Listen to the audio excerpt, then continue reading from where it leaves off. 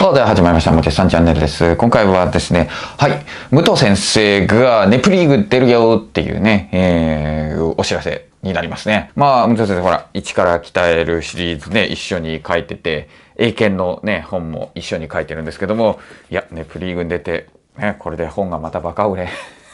するかどうかわからないですが、そう、出演するっていうことでね、えっ、と、来週の月曜日だから、14日の放送になると思いますね。そうそう、なんかね、うん、ツイッターでも言ってたけど、芸人さんの力がすごかったって言ってましたね。もう本当に、いやー、芸人の人たちってすげえだなって言ってた。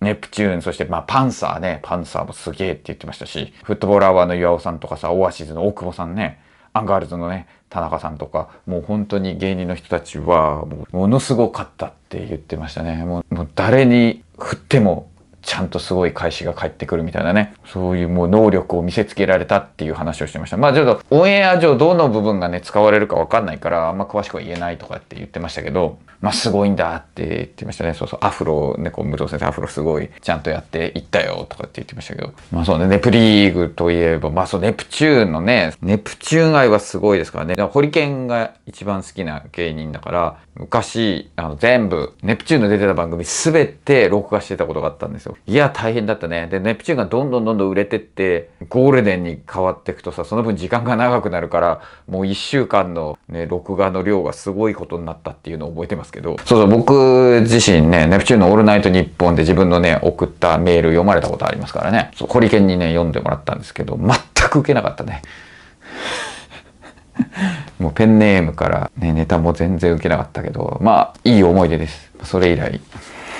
諦めましたが。ネプチューンのイメージというとさ、ほら、ね、ポキャブラ天国出て、そっから、つか笑う犬の生活、笑う犬の冒険とかね、そっちのイメージが結構多いと思うんですけど、フジテレビの。私はですね、やっぱりね、あんまり見れてなかったんだけど、ネプやりがあって、そのネプやりの後に、ネプティビビ、空飛ぶネプティビビがあって、ネプチューンと TIM とビビルとやってたやつね。で、その後にネプフジっていうね、トーク番組やってて、それがすごい好きだったんですよ。で、ネプフジが昇格して、で、力の限り555でゴールデン。そうそう、まあその、そのもね、コウクロ555っていうね、ギャグがでどういう風にできてったとかもね、いろんな番組で見てるので、ですからそこで進出してね、まあそこからハモネプとか生まれたりしたじゃないですか。で、それで力を合わせて555になって、で、深夜枠に行って、それ生まれたのがネプリーグですね。タケノコテクノコニョッキキとかってね、やってたと思うんですけど。で、そこからで、ネプリーグがゴールデンに進出して今の形になるって感じですけど。で、昔、そう、ね、なんかコントのネプチューン、素人いじりの論文、トークは何々みたいなね、なんかそういうので深夜の